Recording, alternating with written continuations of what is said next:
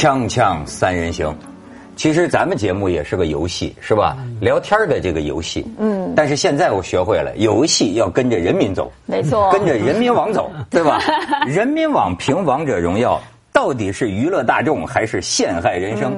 然后人民网二评王者荣耀，加强社交游戏监管，刻不容缓。人民网三评王者荣耀，移动时代不会像有人想象的那样无忧。而且我不光跟随人民网，我还跟随新华社，还有 荆轲变美女，王者荣耀不该游戏历史。嗯，哎，这话题堂堂正正啊，家辉。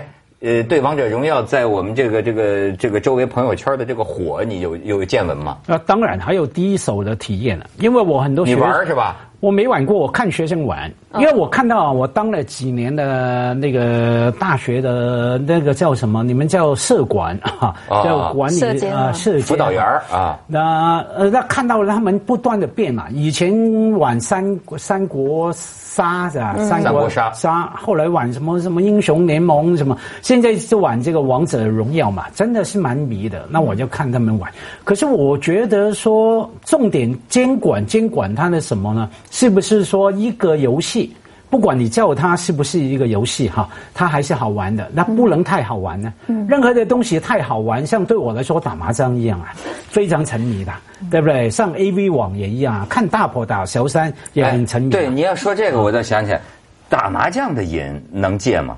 呃，要很很辛苦哈，你要家里娶一个很凶的老婆 才能戒掉。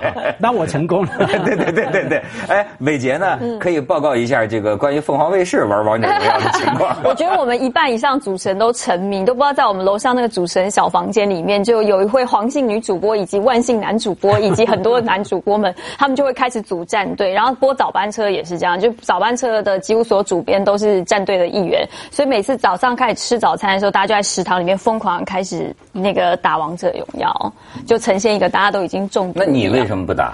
我首先我两个原因不打，第一是我以前我我就是上面有个哥哥，那我们就是身为老二呢，都会有一种知道哥哥被揍的事情千万不要做。我哥小时候就是对对对，就是他都去那种网咖打电动或什么，就被我妈毒打，所以身为老二就有一种假装乖，想说不会打电动。然后再者是我真的是眼嗯这个我是有测试过手眼睛跟手不大那个协调哦，所以失调是吗？就也有一点点，所以我其实是手脑有点不大协调的那种人，所以我打电动一定会死。哎，我也是，对，我也是，就是说身体协调比较差，哦，就将来会得那种硬化多发性硬化症，是这样吗？就是不是早就得了？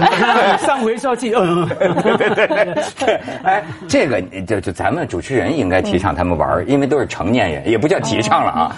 但是现在问题在于啊，小孩。这是不是？我觉得这个啊，不仅是王者荣耀的问题，所以说这个人民网也不是开玩笑，他当然不是开玩笑，对吧？他很认真的。这是个哎，这是个很认真的，这是个事关人类的科技时代的一个问题，所以我觉得它有严肃性。所以这个你知道，腾讯啊出台的这个大动作呀，就是史上最严最严格的防沉迷的这个机制，而且它是一套系统工程。就是你现在你要认为，就是说腾讯那帮开发的说揣着明白装糊涂，我觉得恐怕也未必是那样。就是我看他们采采访他们一个就发明这个游戏的创始人，呃，他那意思就是说。我们实际上啊，早就不是说因为人民网说了我们才弄，实际上我们早就有这个防沉迷的这个程序，而且他们还要系统工程了。就我注意到他们的倾向，就是说，哎，我们这里边有夏侯惇，对吧？我们这里边有小乔，虽然小乔穿的就跟一个 小乔短裙，还小乔，但是呢，他希望把它引导就所谓的正能量，比如说他现在要搞一些历史故事的节目，就借着这个让大家学习历史知识啊。哎，呃，所以出台就有一个叫什么那共同安全什么平台？对对对对对。你你你知道那原理吗？嗯嗯。它现在是两个，一个就是说实名。对。实名呢，但是我发现这记者也挺狠的，什么中青报的记者啊，就偷偷上去玩就发现呢还是有破绽。当然他们也承认，就是说问题在于啊，实名实身份证什么认证，你到现在为止，它不光是一个网站。它是整个互联网，这都是个大难题。你如何做到它不用小号啊？呃，或者说是社会上别人的号啊，社会上有很多你给钱就帮你弄这个东西。他们腾讯也说了，说我们已经打击了很多很多。第一天就被破解了，然后第一天就很多商家就直接几千块，我就帮你开一个，你就算未成年我也帮你开一个。几千块，几千块，几十块就有了。对，可能几千块 开一个可以长久玩。对对对。你要的话，几十块就买一个身份，太简单。所以股民的反应最快的。这个事情一出来了，第一天呢，腾讯的股价就往下掉了，掉了百分之四点一还是四点二。第二天啪，全部涨。因为所有的我，因为我看哈，就好玩就在这里，就是当腾讯第一天要设，然后开始往下之后呢，所有的游戏类股都跌。但是呢，第二天早上你看到所有的经济日报什么什么都告诉你说，大行建议趁低买入，所以隔天马上就反弹。我想说，所以昨天的只是叫我们好好，是真的，真的呀，趁低买入是个机会啊。那腾讯肯定将来火呀。对对，所以我一开始说的就是说，重点在于说什么到底要监管什么？你监管它不能让这个游戏太好玩吗？嗯，只要任何东西，所以我举麻将作为比喻嘛，只要任何东西太好玩，那一定会沉迷嘛。那所以重点不是去批评它嘛，像你引进什么什么什么呃历史知识也好，这个那个也好，没有用啊，它还是会沉迷啊。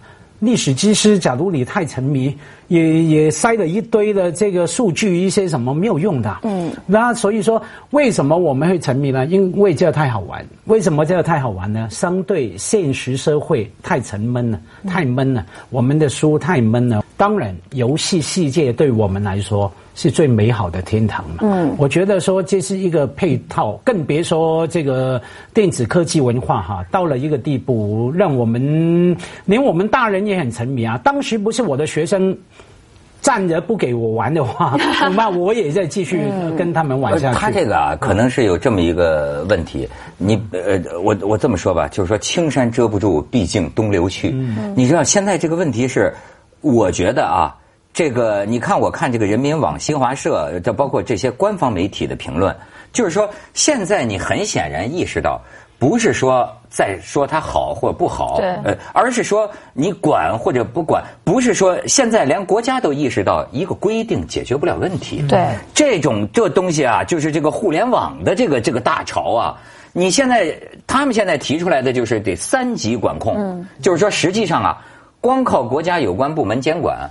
管不住的，对，光靠网站自己出一些防沉迷的这个机制，也不能够完全奏效。其实我觉得必须还加上家长，对，家长跟孩，所以这个问题我觉得都回一圈啊，又都回到你说到根儿上。你看他们现在开始说这个安全平台啊，就干脆就是说帮助家长啊锁定，不是锁定账号了。锁定硬件设备，对，硬件占就是说，你们家这小孩未成年小孩啊，你这这小孩他只要拿这个手机玩，家长一键就给他锁死。你看，他现在说，简直是个系统工程来来对付这个。嗯，我觉得其实家长在这部分呢要负很多的责任。你看这些小朋友长大的时候，就是跟手机、跟互联网一起长大，就跟可能呃我们我们那一代，我们可能跟什么其他的，比如说你可能玩橡皮筋、沙袋，或是什么，或者是这个任天堂游戏机长大，这是他们从小生长的。很多的父母小孩子一生出来，可能一次带出去玩手机就给他玩，所以他已经从小习惯玩手机。然后你现在突然跟他说，因为这个游戏对你不好，所以你以后不可以玩手机，不可能啊！就像你每天。都在吃，你每天都在吃饭。你今天跟他说，你在从此以后再你不不能吃饭是一样。我觉得很多家长都会觉得说，是因为游戏太好玩，小孩才会沉迷。但我觉得不是，我觉得是家长呢，在某个年龄之前，他都会觉得说没关系，他只是一个手机游戏，不影响到他功课。可是等到他们大了，开始上课之后，他觉得影响到他课业，他才觉得说，那你不能玩。那我觉得这小孩，我觉得这样对小孩来说也是一件非常不公平的事情。这这里面有个部分哈，这家长不是说会那么乐观，觉得不影响。知道影响了，可是拒绝不了。我看到太多了，二十多岁、三十多岁的年轻朋友生小孩以前哈，太太怀孕了，他们一定说放心，我们不会给我们小孩跟像其他小孩一样，几岁以前不准碰手机。可是无一例外，当小孩生出来到了两岁、三岁、可以坐着的时候，一出来就啊，手机丢给他，iPad 丢给他，为什么？他明知道不好的，没办法，他不想小孩哭啊，不想小孩妨碍我们大人聊天、说八卦、说是非的，所以他拒绝不了。你面对那个，我觉得身边现现在我身边的家长啊，对于这个游戏啊，处于普遍一种迷茫状态。所以我觉得他最根本的问题就是我们需要正视啊，这个游戏对人性，乃至于对于未成年人啊。他到底怎样才是合适的？我发现没有一个家长有准谱的。你知道，我身边有的家长思想非常前卫的，他不管，他就属于，他是玩吧，就玩，他这这玩够了，自然就不玩了。他这这就我身边有的家长还是知识分子呢，就越知识分子你知道吗？越容易掉沟里。他就想，他说人类的本能就是游戏。人类我们小时候玩尿泥儿，对吧？他们现在玩游戏，本质上没有什么两样，满足儿童游戏的天性。哎，真这样弄，可是呢，那这不是大多数啊，更大多数的家长呢是，行了行了行了行了啊，又又又玩了，不要玩。但是呢，他是没有原则的，因为呢，你看现在就说晚上九点，他们现在是防沉迷，晚上九点夸起未成年人你就玩不了了。但是他们就说了，好，家长你一见弄得不能玩了，你晚上九点你还打麻将，那你让他孩子干什么？今天我还问一小孩，我说那个，哎，连小朋友之间。哎，我发现小朋友之间都在传，小朋友太天真了。小朋友说啊，我我我听那个那个教你跟我说啊，说那个就说那个什么几月几号就不能玩王者荣耀了。嗯。哎，我很想知道小孩儿的社会学。我说你知道为什么不让玩啊？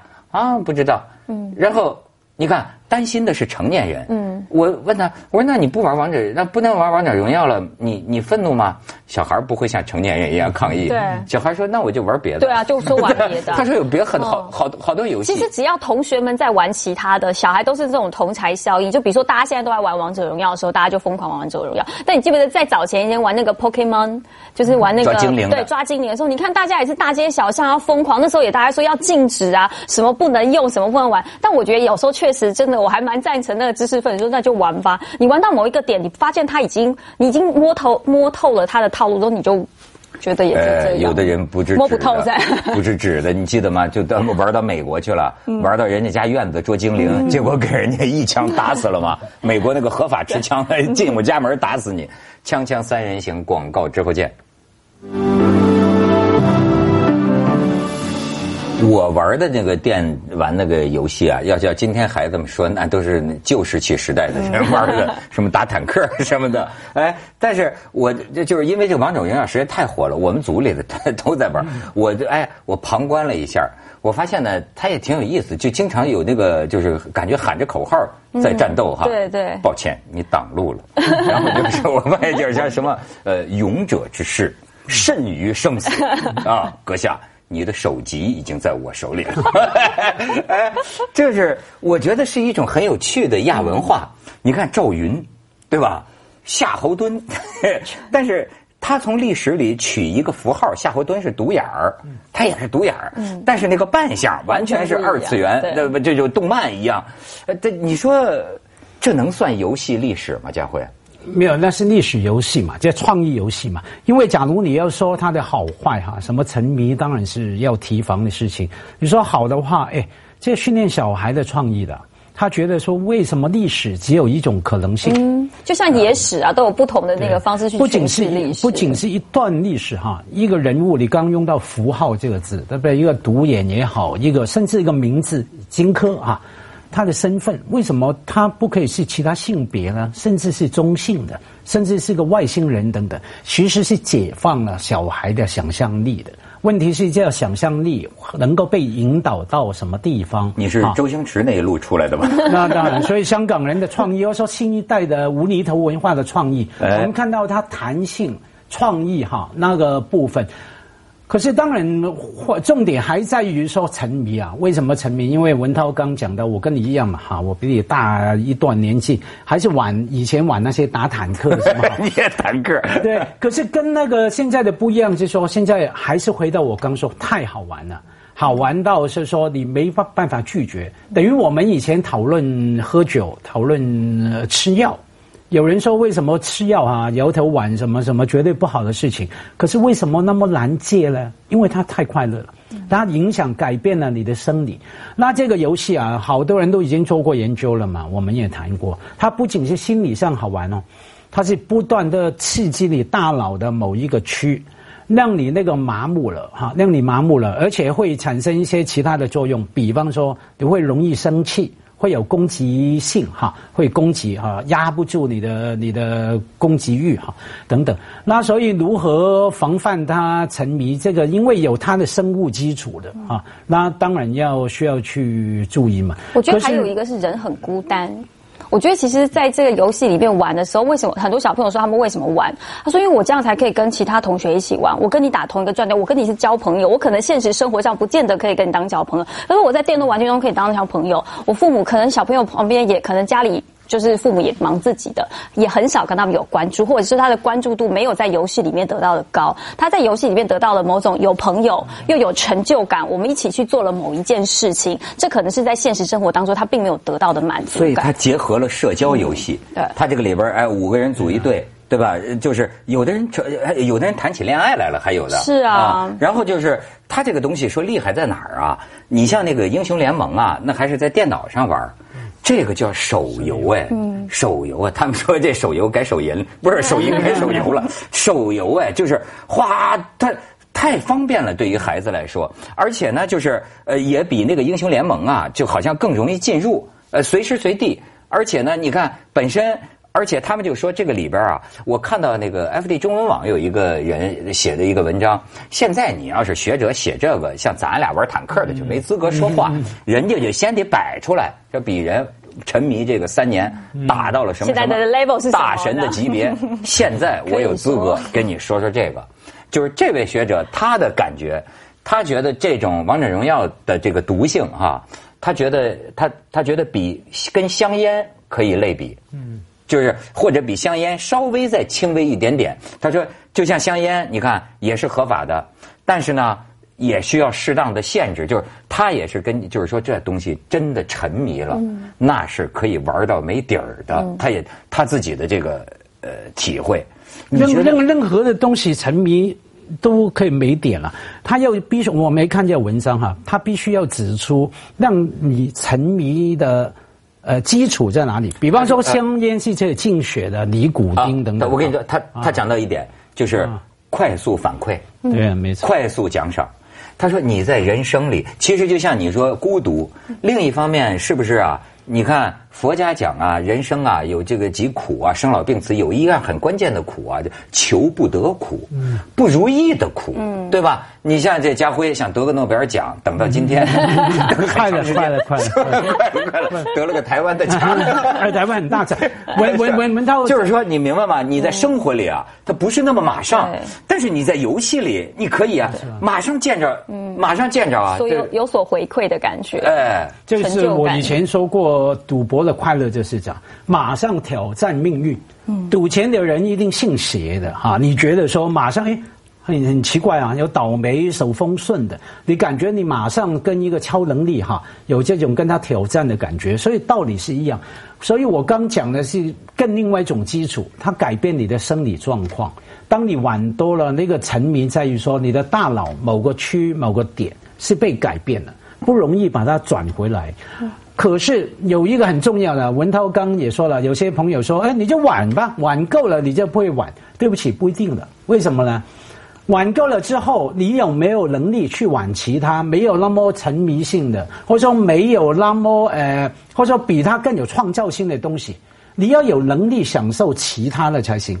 不然的话，他玩够了王者荣耀哈，那玩别的啊。马者荣耀、斗者荣耀，什么都玩，继续在那个有限的空间。坦白讲，不管他怎么社交，什么多变化，其实来来去去就是那些了。嗯，好，他在这个以外没有机会，也没有能力。怎么说呢？比方说，有人是所谓的专家哈，我是相信的哈。呃，是这样说，在他年轻的时候培养他，比方说欣赏音乐、艺术、阅读、思考、创造。当这样的话，那就不怕了，打了预防针。你成长的时候，你跟朋友的理由去玩吧，你不会满足啊？你觉得就这样啊？就这样吗？这种快乐就这样，那叫快感，不叫快乐。那转头呢？你在这个以外，从阅读、文字、创造、音乐、看龙头凤尾里面来获得你最大的满足感。嗯，再说两遍，离诺贝尔奖更远。为什么跟你？哎，但是你看，我就说这个，呃，这个东西吧，我倒也那个听人民网的，这个确实是值得警惕。而且你看，这个人民网都建议腾讯。学习那个不作恶的这个互联网公司，是就说干任何事儿，你确实得考这个玩意儿太太沉迷，对吧？的确是，呃，可是就是我觉得啊，事实上你看这么多年游戏玩下来，就是说跟那个枣核那个原理一样，其实大部分人呐。也不至于怎么着，嗯对吧？就是他是中间这个部分的，哎，都玩沉迷过一阵儿。但是呢，我就觉得确实也有那个堕落下去的。对。而且，当然，你能不能管那个叫堕落？就是呃，我怎么说呢？我们家亲戚里有这么一个小孩儿，这个小孩儿啊，就是因为跟父母关系就是也是特别对立，其实家庭就根本不跟父母说话。你这他就已经到了二十四小时。嗯，不睡觉啊，那眼睛熬的跟夜猫子一样，玩那游戏，然后就拿个汉堡包进他屋，跟父母不说话。然后后来我跟他聊天我真的是不太懂这个游戏的这个沉迷魅力啊。他就说，他说，他说我将来就是要有谋生的问题，我爹妈养不起我，没法养活我。他说，只要我要是遗产继承人，我要有钱，他说我就到那个世界去了。嗯，你你明白吗？就是说，这个东西好玩的程度可以到随着科技啊，这东西只能更加像真的真实的人类社会一样啊，它完全在里面了。对，完里面真实的社交，呃，就是对现对他来说，已经活在另外一个他认为真实的世界了。呃，对呀，他看见爹妈，他觉得像假的。你就是咱们去下广告，锵锵三人行广告之后见。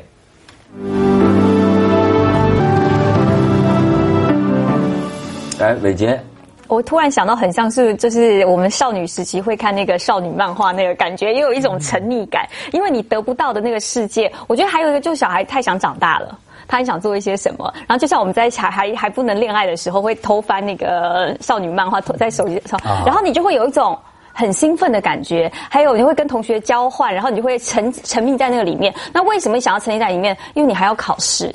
你还要考大学联考，你还要考月考，你有各式各样的不如意。可是，在那个不如意的呃空档当中，我有一个小小的角落，可以让我觉得在里面，我就是那个女主角，我就是这个世界上的中心，然后我也是里面最快乐的人。我觉得可能在游戏当中，因为我个人是不大玩游戏，但我觉得最能对我来说最能够连接在一起的就是这个点。但我觉得确实是要管，因为我觉得大部分的人都参考一下台湾的经验，嗯，台湾对这事儿。态度跟咱们内地差不多吗？我觉得台湾小孩子的孤单程度好像确实没有呃那个大陆的小孩高，因为小台台湾小孩如果一生如果就是台湾没有一比以前我们没有一胎化政策这件事情，虽然现在是开放二胎，但是我觉得孩子们之间的陪伴，我是对于这个沉迷游戏有啊一样台湾的这个政府，但我们没有下这些任何的相关命令。啊！但是社会上要宣传吗？不沉迷也不用，也没有，就至少都没有看到这些要宣传或干嘛的。可能学校的教育里面就会有。就台湾这样怎么能进步呢？所以我们就继续在沉沦，是这意思吗？你说进步，我还真觉得这事儿真不知道该怎么说啊。呃，咱就扯远了啊，咱不说这个王者荣耀了。我那天想。你比如说那个那个诺兰拍的那个电影，就是《星际穿越》。哎，外国人拍电影真认真。我昨天看了一个呃一个这个电影，就是一个纪录片，我才知道啊，他的这个电影里所有的情节都是有所本的，都是现在科学里的某种假说。比方说，我看的纪录片就是讲上帝。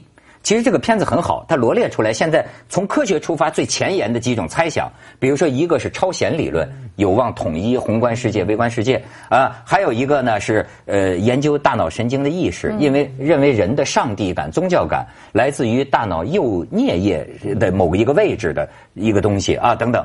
还有一种非常有意思的，就是说啊，电脑游戏论。这个在知乎上都有一个探讨，就是源于我们小时候有时候一种恐惧，就你走在路上的时候哈，你老会突然回头，因为你老怕你一走啊，后面就没有。但是在游戏里是这样的，游戏里的设定的这视角，你看这个，那个就没有啊，对，那个就没有。可是呢，在量子力学的这个层次里。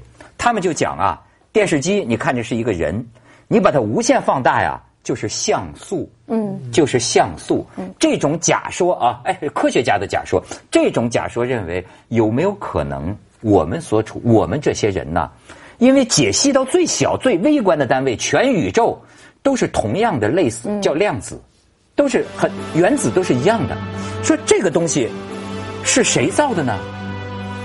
是我们自己，就是说，我们自己的未来，我们进化到了四维空间的人类，我们最好玩的，就是设计我们自己这个三三维里的这个游戏，就像那个穿星际穿越。